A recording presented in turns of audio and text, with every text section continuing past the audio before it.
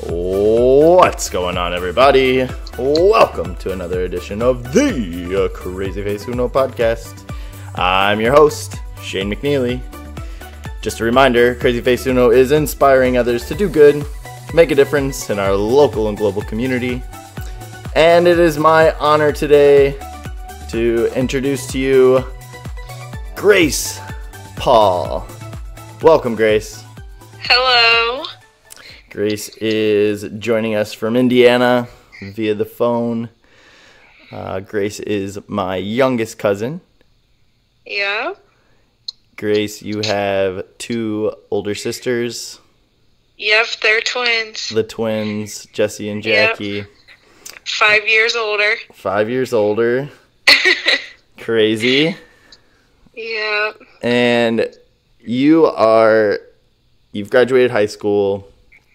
Yep. You I am on my way to graduate with a psychology degree, bachelor's degree. Nice, nice. And let's see, you've got a few different little hobbies, right? Yep. We um our we do truck shows, so our truck is probably our first hobby. Yep. Um our dog is like our child, so there's that. We've very much Uh-huh. bonded over the fact that our dogs are, are like our children. Yes, because we don't have children. It's so true. It's true. And Um, Chance is, is obviously here. He's laying on the floor. He uh, Yeah. I shut the door because I knew Remy would be bugging me and definitely squeaking his toys at me. So I was like, you can go outside for a minute. Yeah, and you're joining us uh, kind of on your I don't know what other way to say it, but kind of like your little lunch break almost. You have to be back at work in a couple hours. Um, Yep. And you're squeezing it in, and I really appreciate that. Thanks for being here with us. Of course. Um, so outside of dog uh, and trucks and kind of working on trucks and your, your vehicles, any other hobbies or things you enjoy? Um, I really like to, I'm a caregiver, obviously. And Yeah. much like um, Diane Ingle, she was on here, and Della Paul, Yep. that's my grandma. My mom and my Um, grandma, yep. Yep. And we're all caregivers and we're all fixers. We all have that in common. So. Yeah, definitely. That's definitely. family is family is uh, probably one of our um, strongest thing, like strongest connections. Really is. Yeah, absolutely. We have. Um, I'm very very close with my aunt Diane, which is Shane's mom, and Yep. Yep. um, yeah. So we're really close, and we've gotten really close here lately too. So Yeah. family's a big thing for us. Absolutely. Absolutely. And Grace, you you're currently working uh, what's the what's the what's your job title, I guess? Um, I am like a server at a assisted living home, and here in Rochester, it's called Winfield Crossing. Yeah. So I serve the residents, and I mean, a lot of it, it's not just. I mean, you say you're a server, but Right. when you work with older people, it's a lot more than just serving them. It's taking care of them, and Absolutely. but I love older people. that's like my. That's where I need it. I'm an old soul, so Absolutely. And it kind of speaks to your caregiving and also kind of speaks to your major psychology and Yep. your the future, kind of like where you kind of want to see your life go at this point in time. yeah. Um, go ahead and would you tell us kind of about what you envision your life after you get your bachelor's degree and kind of what the future might hold for you? Yeah, so um, I'm looking at probably getting. I'm getting my master's. I just haven't decided whether I'm doing clinical or counseling. Right. Um, I'm mostly looking into like my absolute dream job would be to work alongside Alzheimer's patients or demen- dementia patients Yeah.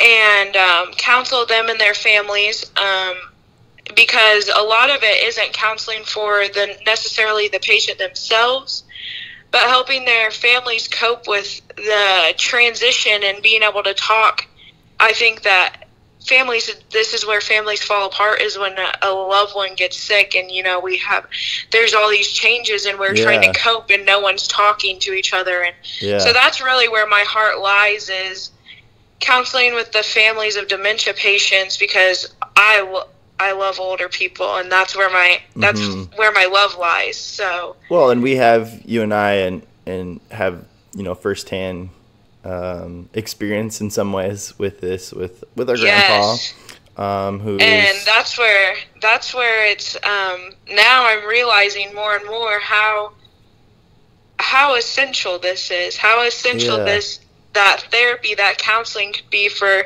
families going through this is more and more now that we're seeing this with our own grandfather. yeah You it's it's honestly essential because uh, when times are tough and everything feels like it's you know you're seeing your loved one go Yeah. through that you need you need someone to talk to more than ever yeah, and it, and and that support, just Yeah. knowing it's there sometimes is is so huge. I saw it when I was a caregiver.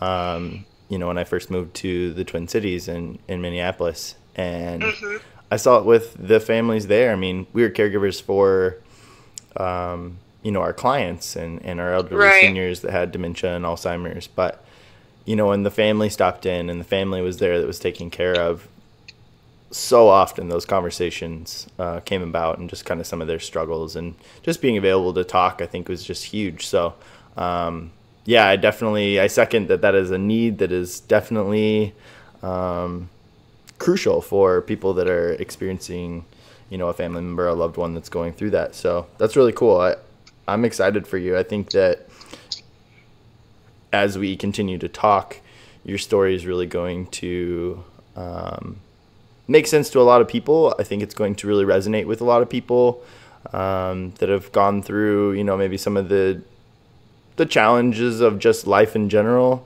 Um, Right, and, and loving your family and yeah. That's where we shane and i had previous conversations about the um just it's my if my story could help anyone like that's where that's where i'm at. And um if my you know i'm i'm on instagram i'm on facebook i'm on twitter. Yeah.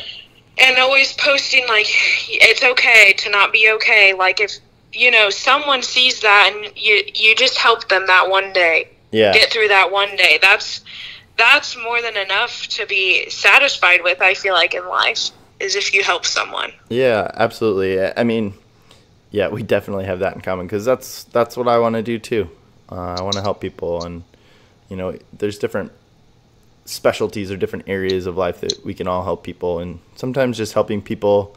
Um, it seems like this grandiose thing, but it doesn't have to be, and it doesn't need to be. Right. The simple, it's okay to not be okay, or the simple smile, the simple thank you, the simple, uh, you know, gift of gratitude or appreciation to someone is is huge and can make the biggest difference in someone's life and i'm sure you see that at you know the assisted living place that you work in sometimes just the gratitude of something simple that an, a, a person a human being needs and and wants and needs help with and just helping with yeah and you see that more you see it as i feel like as as we are young we don't see it as much in ourselves that we need all this care. We don't need that. But as you get older you become so you're lonesome. You you know you're your life you know what's coming with your life. And you see it more i see it more and more in my line of work and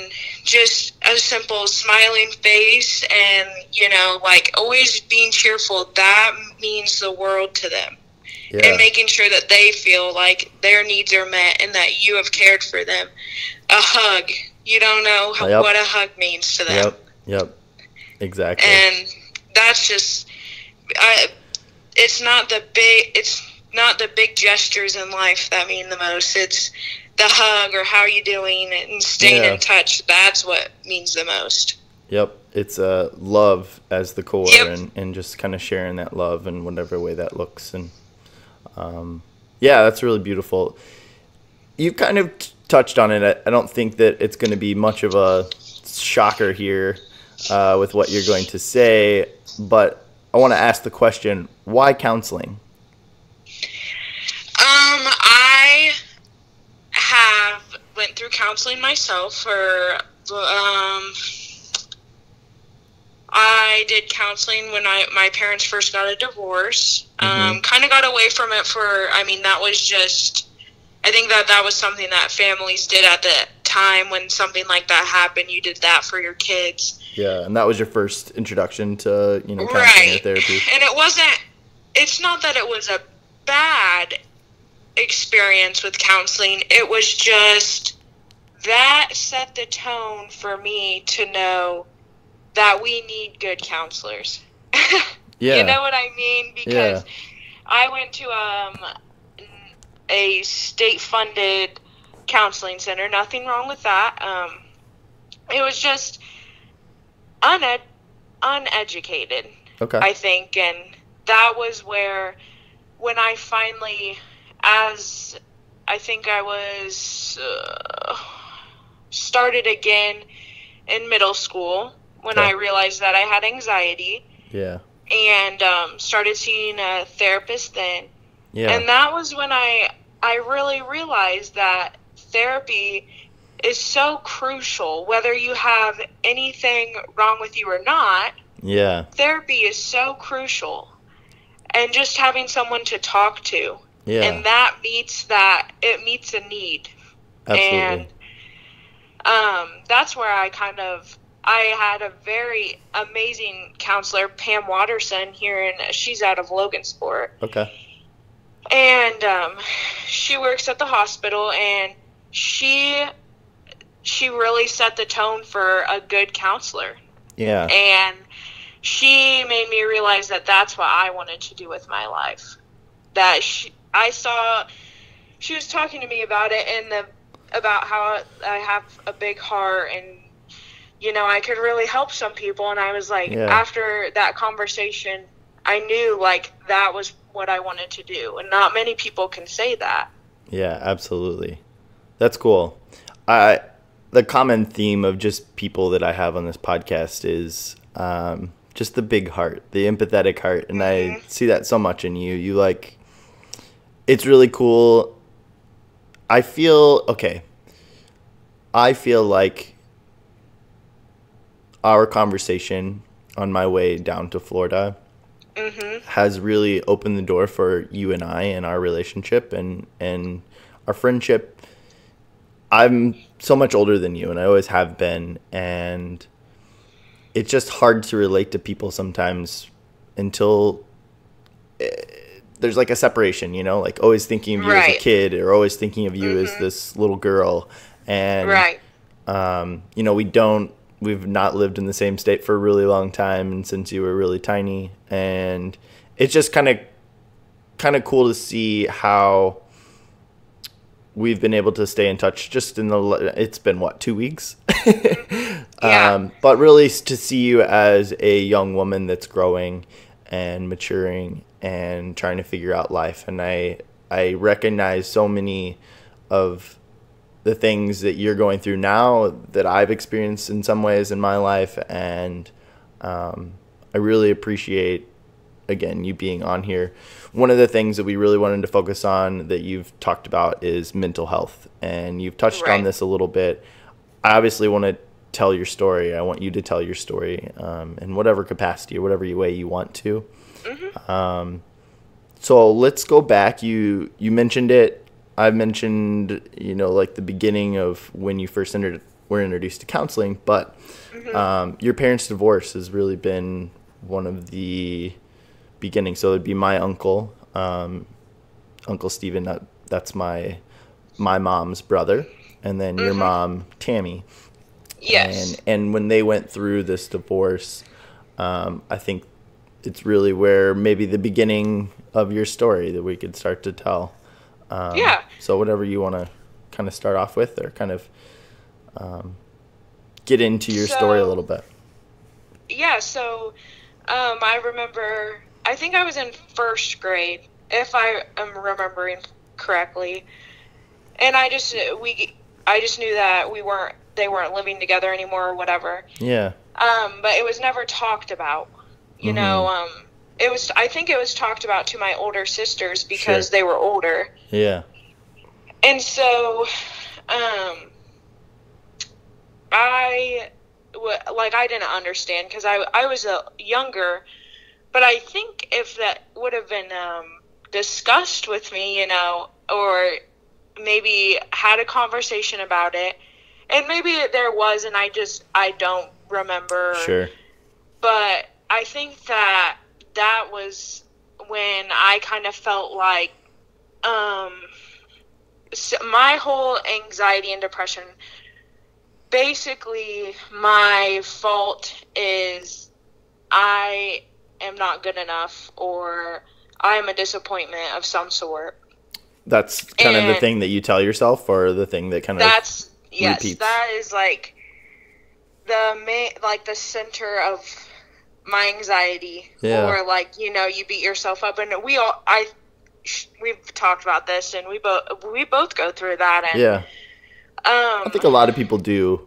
Yes, And- I think that this world is very, it's very hard and cruel, and we ha- live in such a cruel world, and you you feel like you have to meet these milestones, and you have to do this, and you have to do that, Yeah. and so when you don't reach these goals, and you're just one step behind, it's like, wow, you're a failure, you know, Mhm. because you didn't, you did not do that in this certain amount of time yeah. or you didn't do that or you couldn't do that and It's- so It's crazy how we um, put those pressures on ourselves, though, because Yeah. I, I don't think that. I mean, it's so easy to say and it's so easy to see. It's harder to put into practice because I look at that and I'm like, just take your time, take it one day at a time, you know. But Yeah. I do the same thing to myself, so Mm-hmm. it's it's a weird battle or this weird like give and take. Right. Um, yeah, and, and you can know the the right answer and know the difference. This is at least for me. Like I, there's so many times that I I hear these like negative self talk or this negative talk in Yeah. my head, but it's one thing to hear it and know the response or know the correct answer, but to actually like accept it or to and it's not that um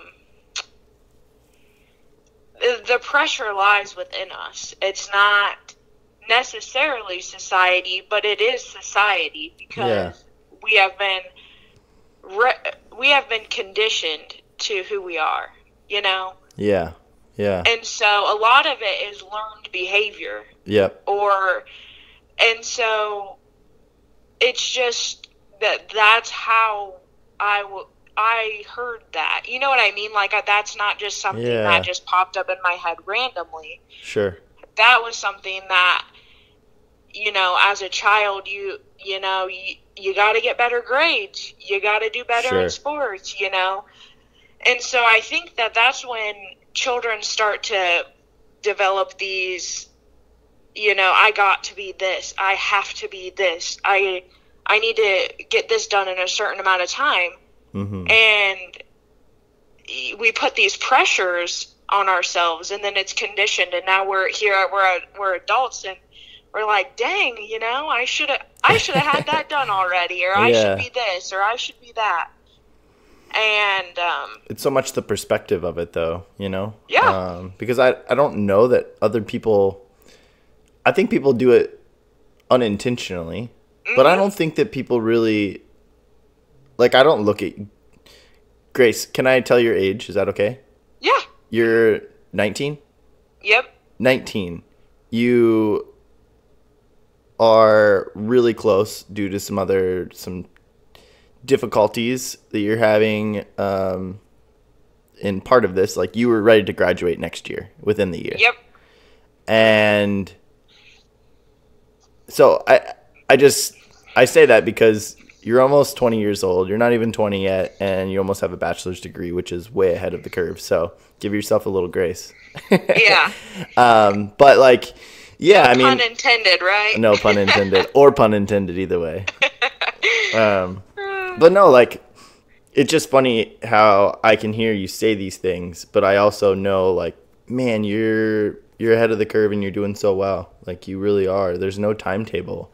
And yeah but and you know i'm very great i'm i am grateful that i've been i have pushed myself. I'm grateful for that. I'm and i'm grateful for the compliments and Mhm. i'm grateful for the i'm grateful for the things in life. Um it's just you know like we said it's like that little devil sitting on your shoulder saying Yeah. come on what are you gonna do? Yeah. When are you gonna make your move? Yeah. Yeah. For sure. For sure. Um. So. Your parents. Um.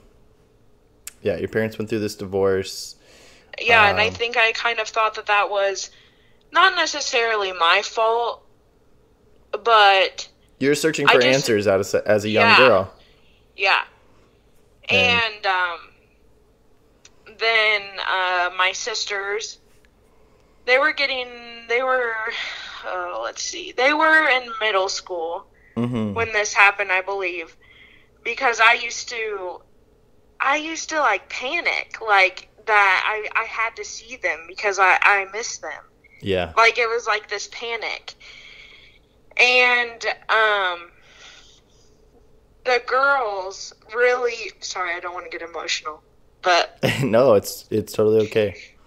the girls really took care of me Yeah.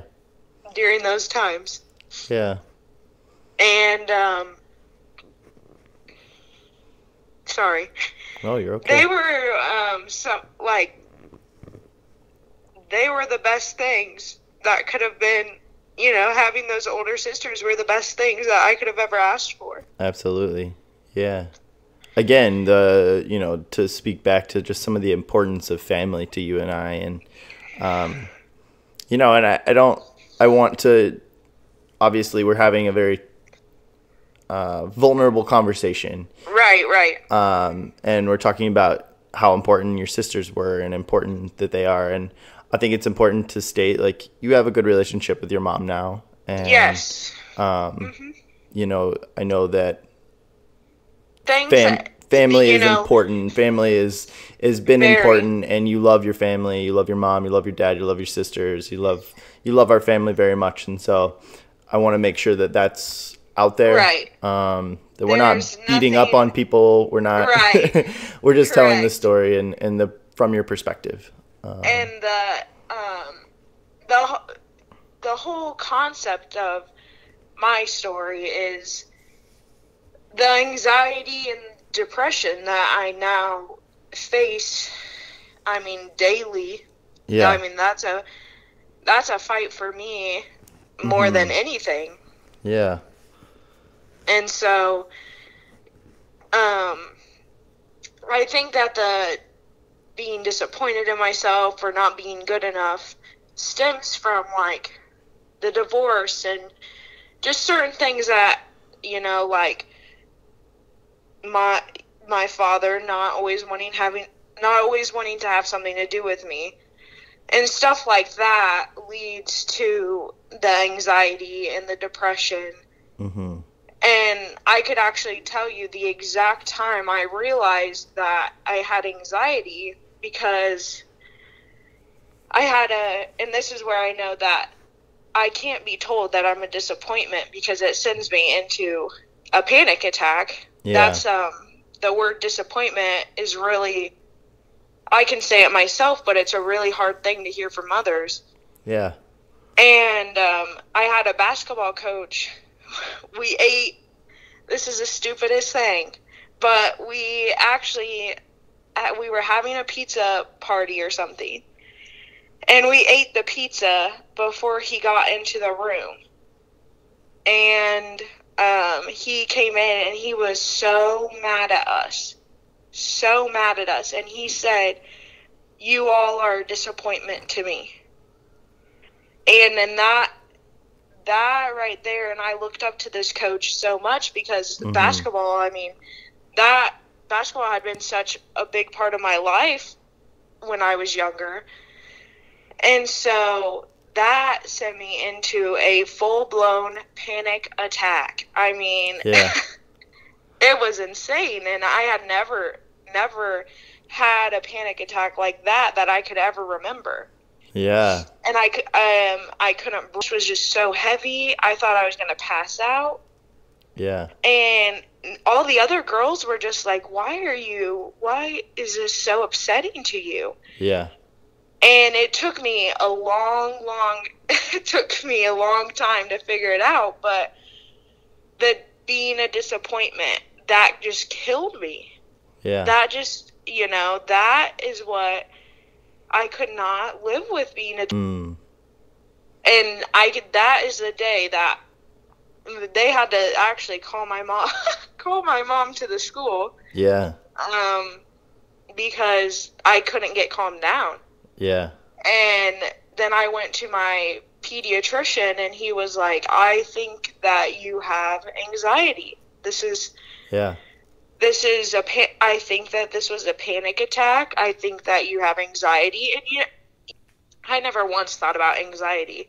Right. I or really like, understand total- what it means. I mean, Yeah, I I- was in total shock because I was like, "How can I have anxiety? yeah. How could that? I'm a kid. Right. How does that happen?" mm-hmm. And um, then I was prescribed my first antidepressant, and I think I, w- I was in eighth grade. Eighth grade. My first antidepressant. Yeah. So that right there was when I started to realize like this this problem is bigger than me.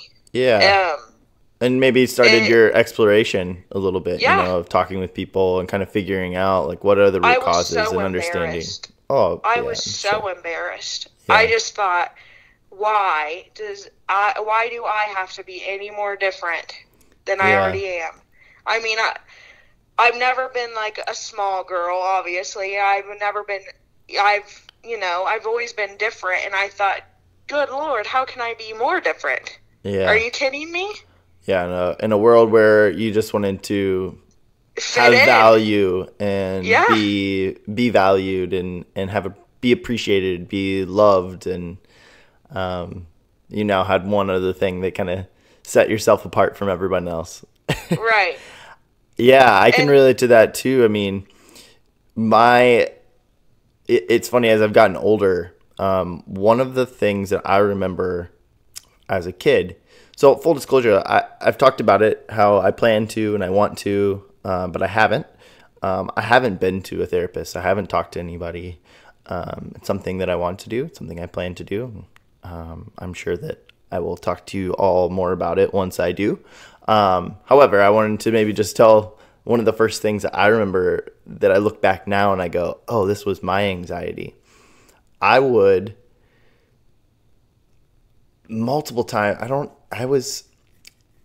I had to have been. You know, it would have probably been like second, third, fourth grade, maybe a little older than that, somewhere between like probably second and uh, fifth grade, I would suppose. Would be when I remember I would wake up in the middle of the night and I'd be like, oh, I didn't do my homework, or I forgot to do this one sheet, you know, or this one worksheet, or whatever I needed to do. And I would be in this like full blown like anxiety attack in some ways, where my heart's beating really fast, and I'm like freaking mm-hmm. out, and I'm laying there, and I had to just turn on the light. And my it was I I know that there was multiple times that it happened, and it was generally between like three and four a.m. And I'd wake up and I'd have to do that. Like I'd just get the worksheet done and then I'd lay back down and go back to sleep um, or sometimes I'd fall asleep like trying to do my do that last little bit of my work or whatever. Um, but I just remember that heart racing, panic feeling. Um, oh, it's just it was terrible. But that's one of my first recollections recollections of like and I think anxiety. that people will, will always I I think you'll always remember, you know, like that that for me has stuck out so I mean, since when I went to the doctor that day and I that has stuck out to me more than hmm you know the than the overcoming some of my anxiety. It that right there is like i could not be i just could not believe that you know something so so not not a big deal to others. Hmm made me just flip out. Yeah, yeah, it was insane.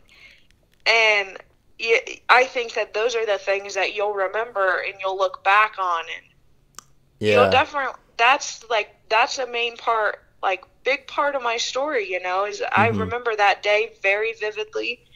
I remember i can honestly probably tell you the piece of pizza i was eating when he said it Yeah. was- it's that light I bulb mean, moment of Yes. oh well and for me i mean it's been recent. It's been within within 2019 that I I realized that like oh, I've always had some of this anxiety stuff. Like mm-hmm. it's just part of part of me, and you know we've talked about this too.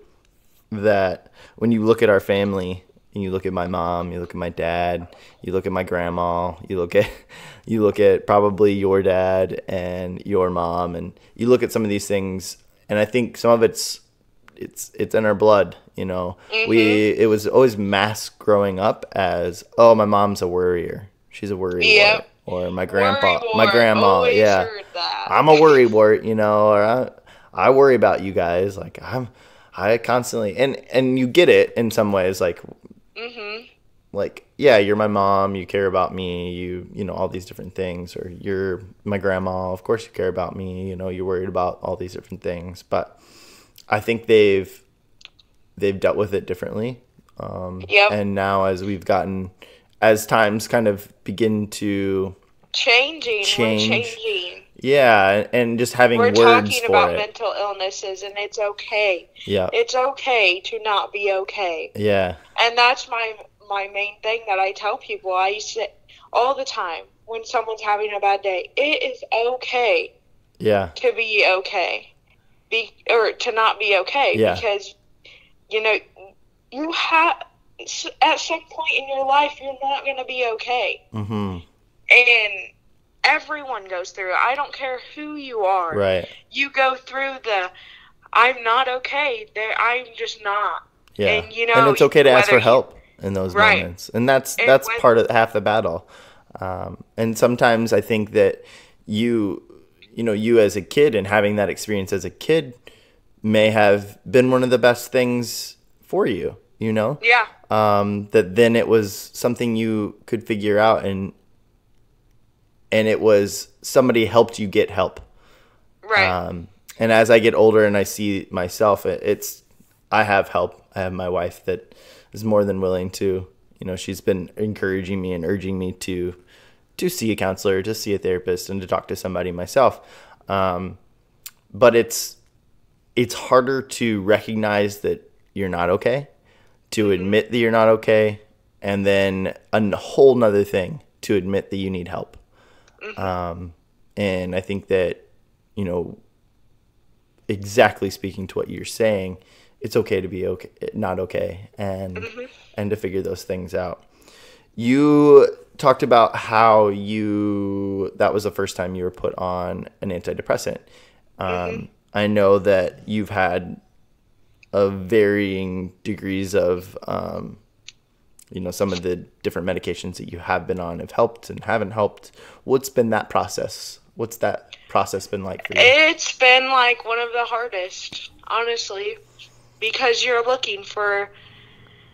You're not looking for a cure. You're looking for something to get you through the day. hmm I always say, I just need something. Please, just get me through the day. yeah So finding um, a medication that I'm just going to be blatantly honest, it's you have all these side effects to different medications, yeah. And um, I was I was put on two by my pediatrician when I was younger, yeah. And he finally said like I don't I don't feel comfortable prescribing you anymore antidepressants because I don't know what I don't know what else to do because he said I need you need to be have test run and all these other ones. I don't I don't want to prescribe you basically. As a pediatrician I don't want to be liable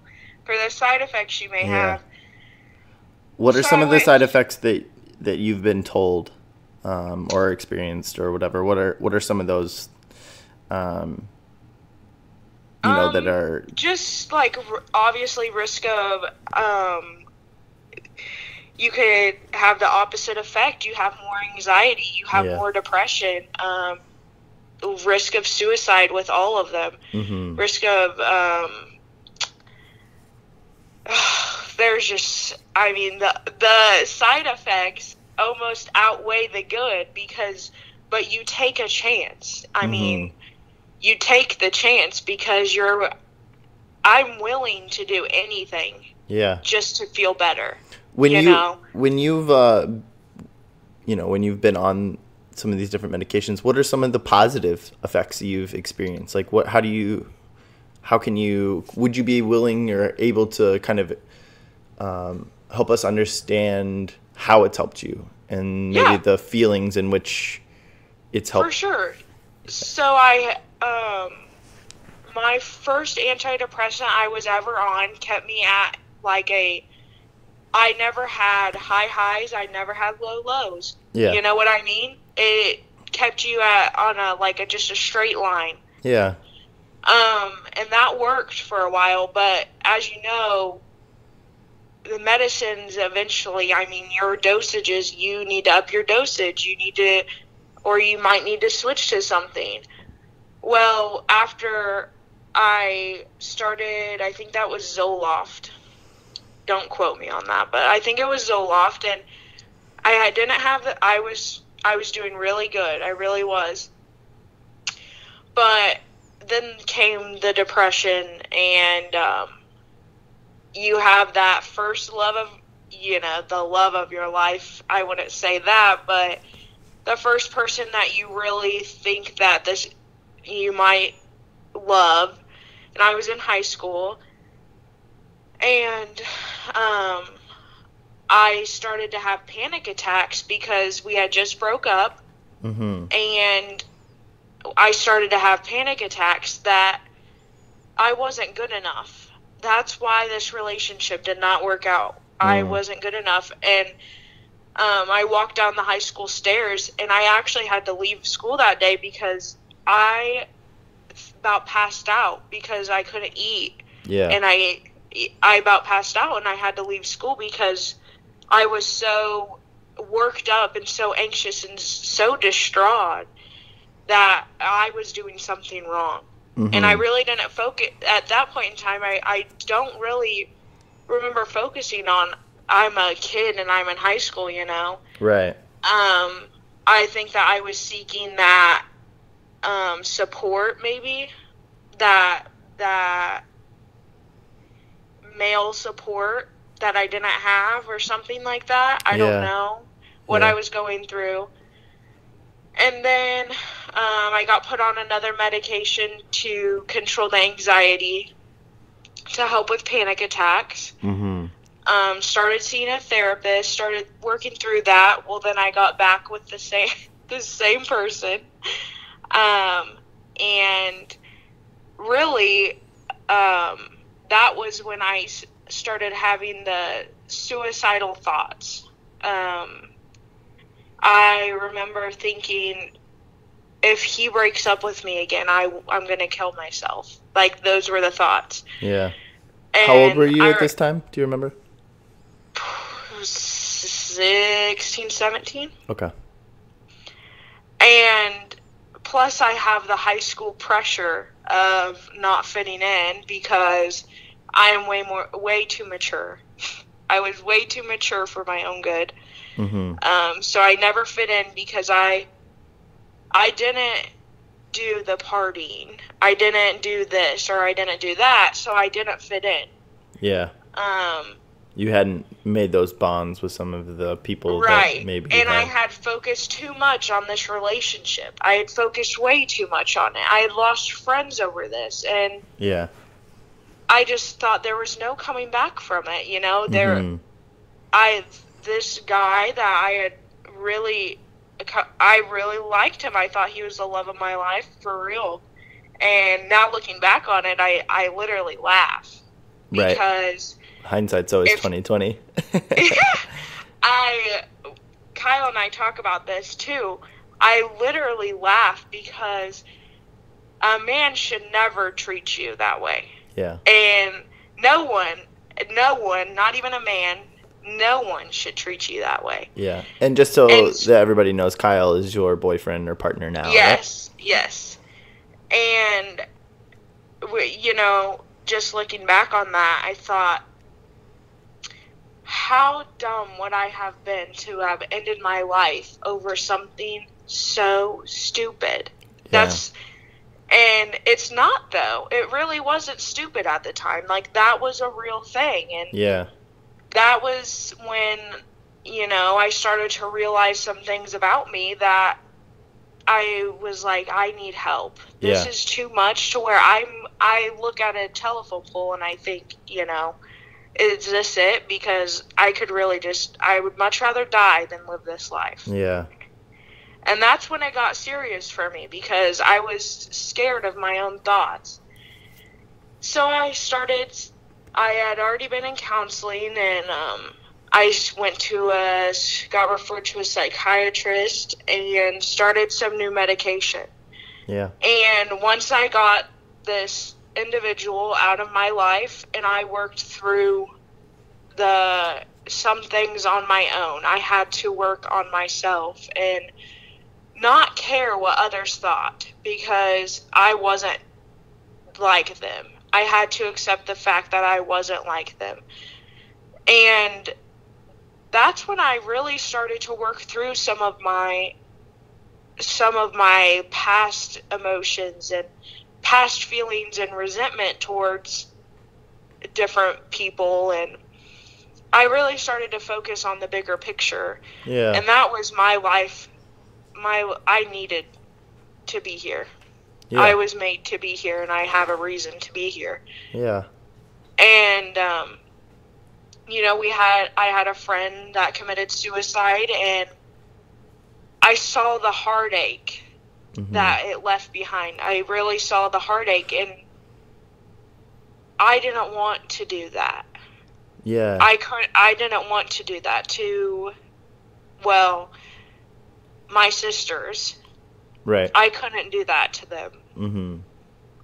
And I know that that that moment. I know we we've talked about it. You've told this story to me, and um, you know, share as much as you want, and don't share whatever you don't want to. But I know that that really did, and you kind of spoke to it. But that your friend and uh, their suicide was was really big for you. yeah, Um, because I I had thought about it myself and you know, I had never ever spoke to it. I had never told people that. mhm. that I had thought about that. And so, you know, when you're hanging out with someone and they they jokingly say like, "Haha, I'm gonna, I would just kill myself," Yeah. and you think you, you know, you're kids, Yeah. and so when it really happened, and and we all kind of looked back, and I just was kind of just felt a fool. You know, Yeah. I just felt like I'm so dumb to not realize different things that had been going on at our school. Um, they didn't know how to handle this suicide. Yeah. Um, that the counselors didn't know how to what to do. I mean, Yeah. you had kids bawling their eyes out, and no, there was no comfort. There was nothing. There was, it was so cold, and it was, um, I my, I watched my friend literally just she was just almost screaming, and I could never get her voice out of my head about about the things she was saying, and I thought to myself at that point that I had to help people. I had to help people, and I my I needed to live.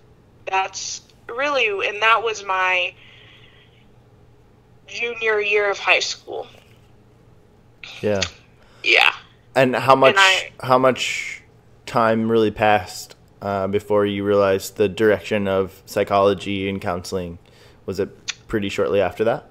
yeah, pretty shortly after that, when I saw the how uneducated our school school counselors and how uneducated our the faculty was, and no, you know, they were.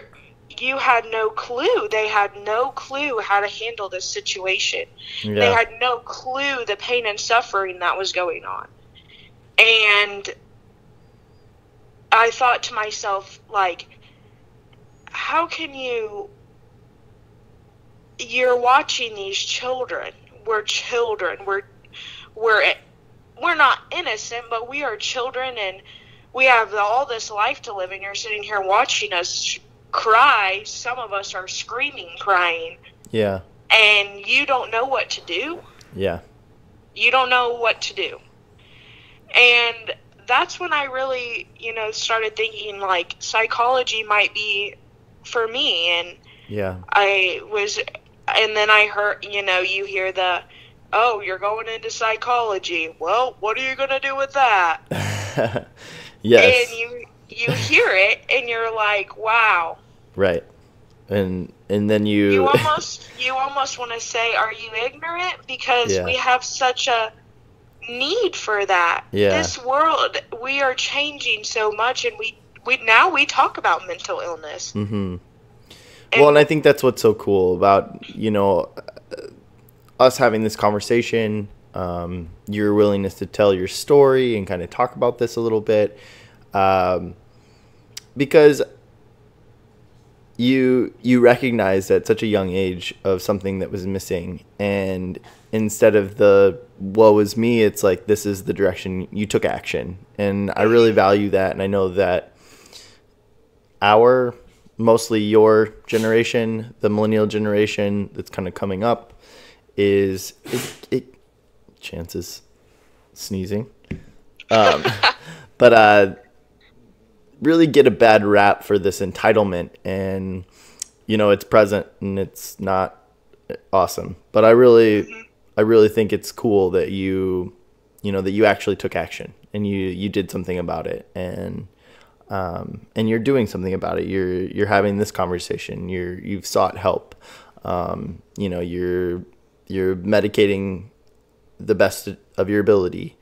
Um, you know you're you're doing everything right, and and it's not it's not easy. Like i don't want to eh, i don't want it to sound like a you know it it just came easy. I mean sure, there were there were multiple you know days where it's harder than others. I mean yeah, my and I'm Kyle, sure that that's still the case today, yeah and I know to it this is. day. Yeah, and you know i always say like kyle he's a godsend because um, there's been days where i was like i'm not getting out of bed today. I Yeah. can't. Yeah, i just can't do it. I can't get out of bed because i am a failure. I i feel as though that like i just can't. Yeah, and he has told me get up. Come on. We're going. We're going to do this. What will make you feel better? And it's it's hard for him i know Mhm. because he doesn't struggle with it and um, yeah. I've had relationships in the past where they say i i have been told that i am a psycho or you need to get you need to get it together mhm. and when until you truly realize that it that it's me. This is part of me. And take it or leave it. And in the fact that someone can stand by your side knowing all the struggles you have and how hard it's going to be to be with you yeah, I mean, that's what truly makes. I mean, our relationship is far from perfect, and it, like I I put on Twitter, I said, if you like relationships are hard. You are taking two completely different people. You're putting them together and seeing if it works, and mhm. you put trust and you have faith and yeah. relationships are hard and you know Just in and of themselves. yeah Just a relationship, someone- period. having someone that has these issues and you being able to uh, be okay with that Yeah. that sometimes sometimes grace isn't going to get out of bed and sometimes um, she's going to bawl her eyes out because Yeah. she's a crier and just stuff like that Boy, we get that honest, don't we, girl? literally. And so, you know, you got to look at things and think, you know, be thankful for the people you do have during Yeah. your during your issues Mhm. because those are the people that matter. And Yeah. those everyone matters, but those are the people that matter most to you. Yeah, the people that show up, the people Mhm. that, whether they understand or get it or can really empathize. We're With- we're in this together. Yeah, That's what I this always say. We're in this Yep. together. Absolutely. and I uh, take it one day at a time. Yeah. I'm, you know, I'm currently on two different medications, and that's more than I ever. I thought I would never. I just wanted to be off of medications Yeah. because I had I had terrible side effects with one of my medications, and I never wanted to be on them Yeah. ever again. And that's here- understandable. It is. And here I am, and I I take I do take I take a morning pill, and that's to as an upper that gets me out of bed basically, Yeah. and I take something at night so I can unwind because if I don't, I sit there and think about every single thing I didn't do that day, or Yeah. every single thing that I I might have messed up, or hmm and it's okay like that's okay for me and sit, being able to i mean put put this on a podcast and say yeah i'm on two antidepressants but yeah. i'm it's okay It is It's- okay. if that's what makes me you know who i am or if that's what makes me get out of bed and be able to go work a job and get through school and help others then it's okay yep. it really is Absolutely.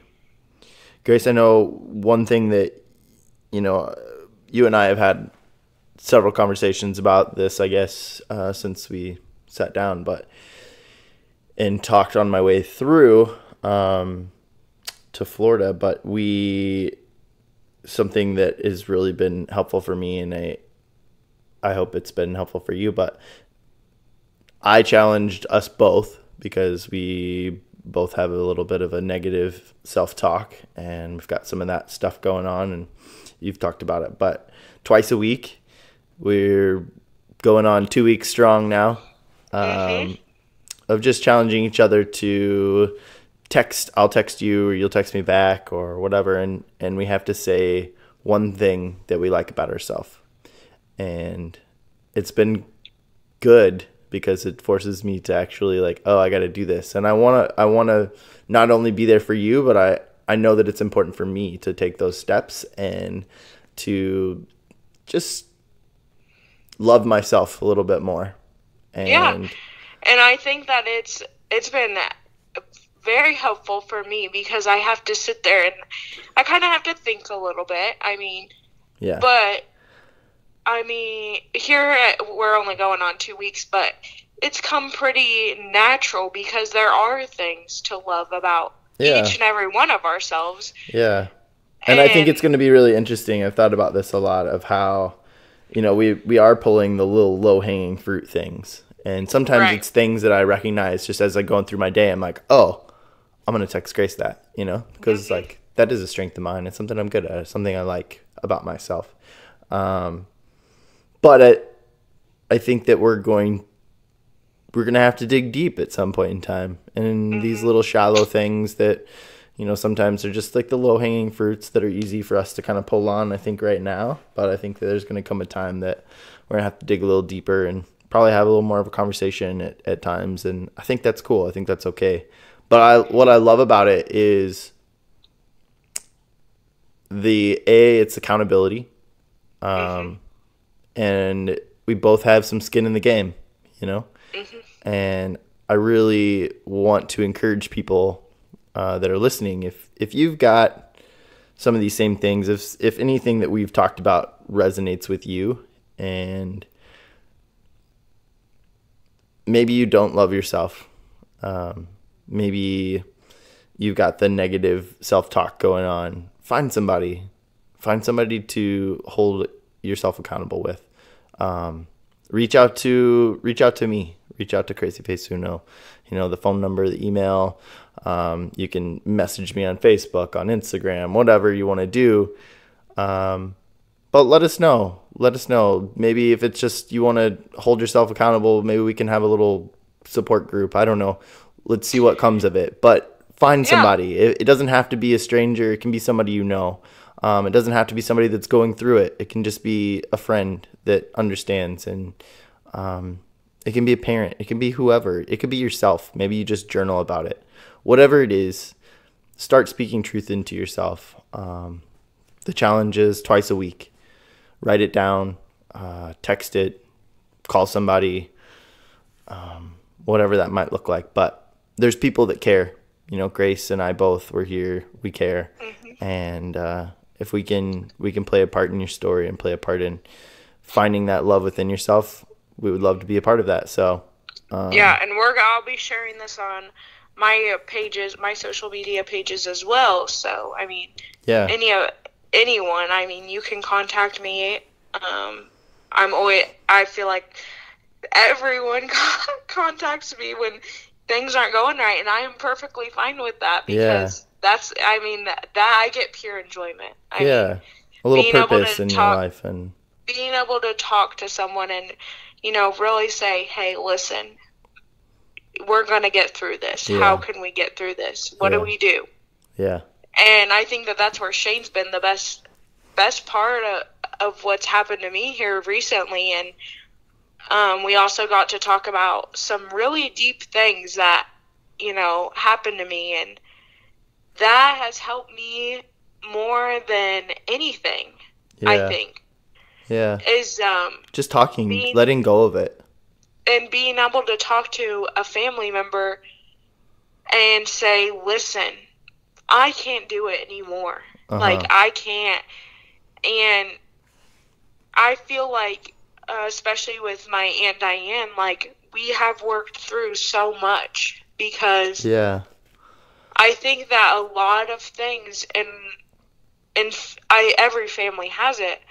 hmm I think that you don't understand you don't understand what they're meaning when they say something. And sometimes that might come off as hurtful, but I finally got to have a conversation with her and with Shane. They were both there that I have never said out loud before. yeah, And just letting her, her and Shane know like this is where I'm coming from. Yeah. And it does you know, take it or leave it, but this is what where I'm coming from. And so I think that that's where we have really connected because I've said things to my aunt Diane and Shane that I have never said before. yeah. Um, That's what family's for. that's for what me. Mm-hmm. that's what that's what we're here for. That's what love is all about. That's what family's for. That's what friendships are for. And it's I don't take those things lightly. Um, I don't take a conversation that we're even having today lightly. Um, Mm-hmm. I really appreciate just the the conversations because I think, at least for myself, I, I'm an external processor. I I like to talk. Shocker. Um, but I I can't when I hold those things in, when I when I don't let go of them, when I don't speak them into existence, it's so heavy. Um, and that it just rolls in my head. It just that those scenarios and the different ways it just rolls over and over and over in my head. And so um, even our conversation, I, I've talked about it so many times, just conversations with Dana and my wife, and um, like, well, when I was talking with Grace, or Grace and I were talking that, you know, that one night, and um, you know, we're doing this or whatever, and and just as much as you're saying that it's it's helped you in in speaking those things that you've never talked about, um, it was for me too, and I don't know, I I. I think and that's so where huge. the therapy comes in, folks. that's where it comes in. Yes.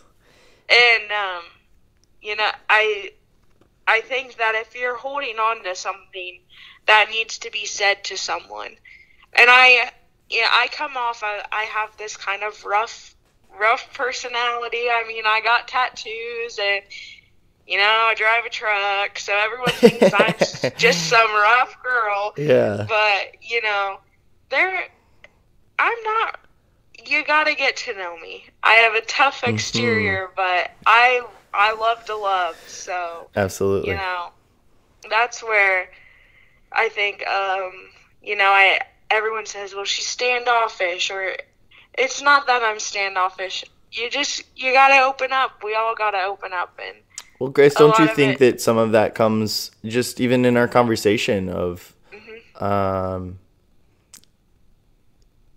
like you said, you're. We haven't got into it too much, but there's been a lot of things throughout your life where people haven't been there um, Right, that needed and, to um, be and should have been, and um, I think that when you see those things and then you wonder why people aren't so open to just let people into their life. Um, right. Why why And would you why shouldn't you be I- standoffish? And why I try to explain, you know, I don't need to explain myself, but you gotta understand that I don't want to say that I grew up in chaos, but I kind of grew up in chaos. Yeah. I mean, there was a lot going on at one time, Mm-hmm. and I I almost felt like I was in the middle of it, and then I was I was kind of talked about like she's young, she won't understand. Like I heard that so many times like she's young, she won't remember. She's young, she won't understand. Yeah. And those were the some of the most crucial times. I mean, you're growing so much. I, that was my I was in first grade, and you your children really grow a lot Yeah. during that time and up through high school and I don't think people you know, I love my family. I truly do, but I don't think you understand that when I I almost felt like I was taught to be seen and not heard. Mm. You know what I mean? And Sure. like not express how I was feeling because there's bigger problems. We got bigger problems, you know. Yeah. And so I don't think that you know, I talked a, a lot about how I was feeling or and you know I I think that growing up in chaos and kind of having all this stuff happen all at once and I was growing. I mean I was Yeah. I was Developmental time of your I, life. I needed that. I needed I needed the skills and I needed be, to be taught certain things and you just uh, like things haven't always I mean my my relationship with my mom hasn't always been a hundred percent Yeah. and I think we we've worked through a lot of it now, and I love her to death. She, she's Yeah. my mom, and you know, and my relationship with Aunt Diane hasn't always been, and I I think I built up a lot of resentment, and once Yeah. I could finally talk to um, these people and say, listen, this is where I'm coming from, and this is what I know because of what I've seen, and this is how I feel about you because of how I've been treated. Yeah. And after having those conversations, I finally began to realize that I was holding resentment. And I think that the key to letting that go and to building new relationships was to just talk. It's okay to just, you know, talk about it Yeah. talk to each other and say, listen, this happened and I felt like y- you kind of left me behind. You know, I Mhm. and that's why I'm so grateful because I have my sisters who I I do feel like I can talk to them, you know, Yeah. and they're really they've been the core the centerpiece of me and I have traits from both Jesse and Jackie Mhm. And I I value them so much. Yeah. I've and that's where I I've got a nephew and I just like that. He is the love of my life, honestly. Like Mhm. and him and I'm gonna have a niece and Yeah. I love them unconditionally. I mean, it's just you never you don't know what it's. I loved my sisters unconditionally, and now I have these two little ones who look. They're gonna look up to every single thing you do, and Mhm. you really think about the unconditional love and how you want them to. You want them to feel that love, and you want to have those connections. And life is too short to not have those connections. And that's where I, I look back at my childhood and I, I and then I see these kids and I think I, I gotta be there. There's no way. Yeah. I these moments are too precious.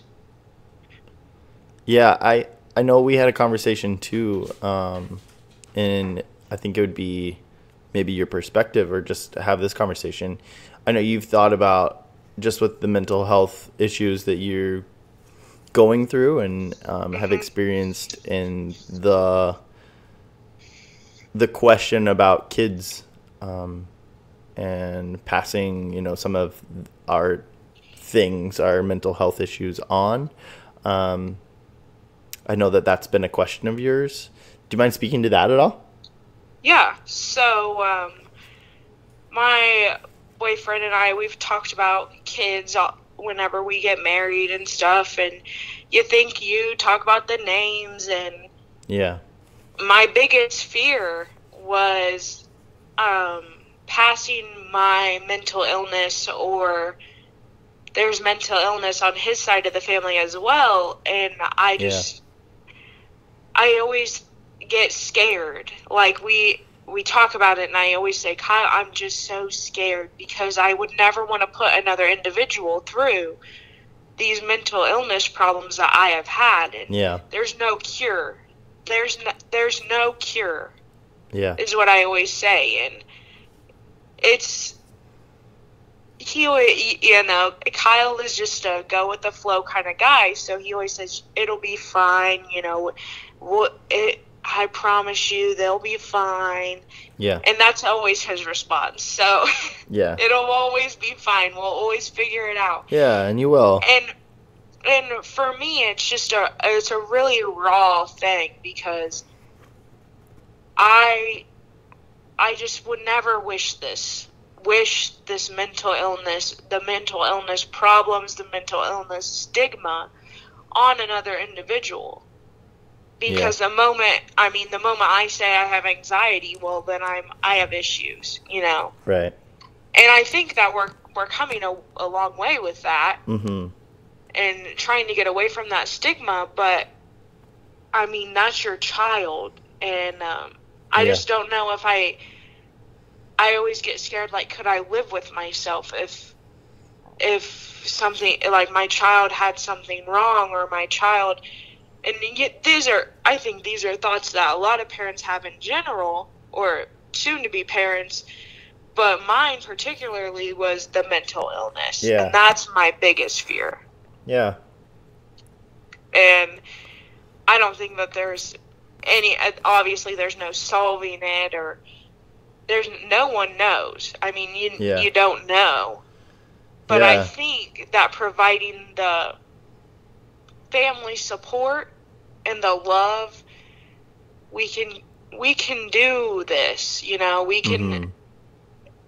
I think that we can fight through the mental illness, and I think that our kids will know. I don't. My biggest thing is I don't want to show them like I want them to know about mental illness and stuff.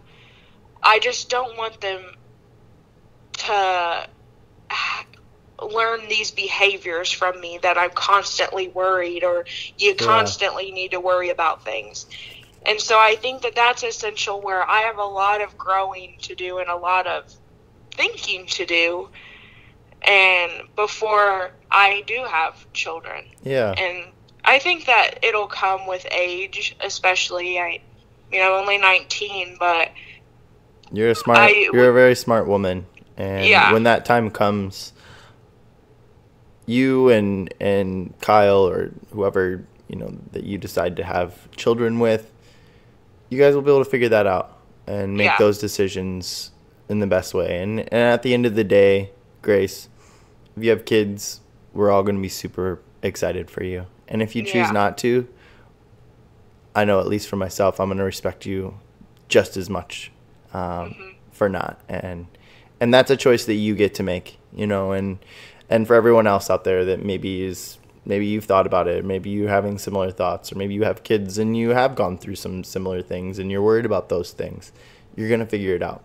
Um, yeah, and I actually watched an episode. Um, I watched Teen Mom religiously because that that was a thing when I was like I mean, I watched that since I was in elementary because my sisters watched 16 and Pregnant. So, so, and um, one of the children, they're now 10, is having panic attacks and they think it's anxiety. Well, her Yeah. mom has anxiety.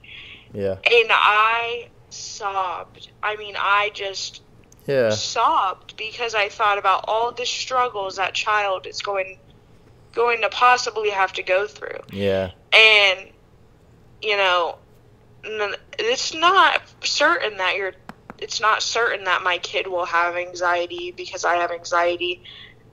But there, it's a possibility, you Yeah. know, and For sure. it's something to think about when you do go to th- think about having kids and where I I mean I'm 19 but I am getting to the age where I mean a lot of people my age are having kids yeah.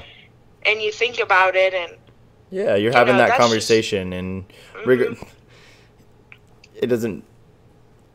Regardless of the fact that you're 19, you're you're talking about it, and I think that it's Mhm. important. You're having that conversation now, and um, it it's why is it something you're not allowed to talk about just because you're 19?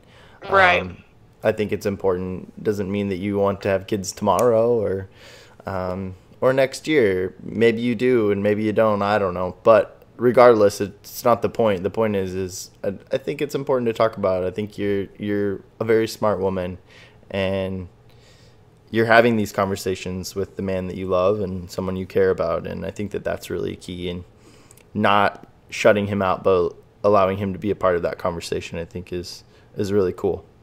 right and I think that that's where our key just talking you know every talk things out. Um I know when things start to get bad I I close off. I shut down hmm you know and i think that talking talking and working things out speak it be about it you know. Hmm talk and that's where you find your solutions i most of the time i find my solutions after i i talk it out i Yeah. sit there and i talk it out and i think that that's where our, our therapy and our counseling comes in Yep. Yep. Well, Grace, I have really enjoyed this conversation. I think it's been great. Um, I think we'll thanks wrap. for having me Yeah, I think we'll wrap things up here. Um, I know you've kind of you've said it throughout. You said it in the beginning, um, but I want to give you opportunity to just speak to the people that maybe are going through similar things that you are.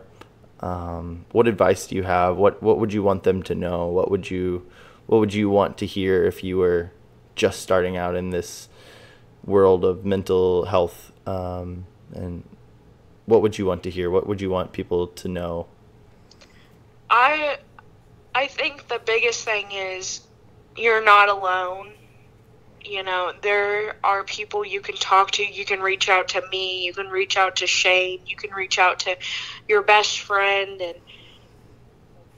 there are ways out. We will find a way out and you know there is someone someone that loves you. Um I think that that was the biggest thing for me was knowing that I was someone loved me Yeah. and um, someone cared about me, Yep. and that you're not. There's nothing wrong with you. Yep. There's not a single thing wrong with you. You are who you are, and you can't help that. Um, and it's okay to not be okay. Yeah. That's my biggest thing. I always say is it's okay to have a bad day. Everyone has a bad day. Yeah. and it's a you might have a bad week but let's Yeah. try to have a good week next Yeah. week you know Yep. and so those are the key things like you're loved and you always have someone to talk to whether you watch this podcast or you know you see it on our social media pages or whatever you can reach out to any either one of us you know we're here and um follow my journey trying to be counselor you know we'll see where Yeah. see where it takes me and just know that we're here and you're loved Yeah, You absolutely. really are. Absolutely. Grace, I love you. Love you too. You are, um, you know, I, I told you this before, but you're enough just as you are. And Mhm. my heart feels very full right now. So thank you very much. Thanks for being vulnerable. Thanks for sharing your story. Um, let us know if you're listening. Please let us know, um, you know, if, if this story resonates with you at all or reach out to us. Let us know. Uh, start a discussion and let's let's talk about it. But thank you, Grace. I love you very Yep. much, and Love you too. I am so grateful to have you on the podcast. Everybody out there, I love you as well. Like I said, reach out to us. Let us know um, how this story, how mental health maybe impacts you uh, in your day to day life. Again, love you guys. Take it easy. Peace.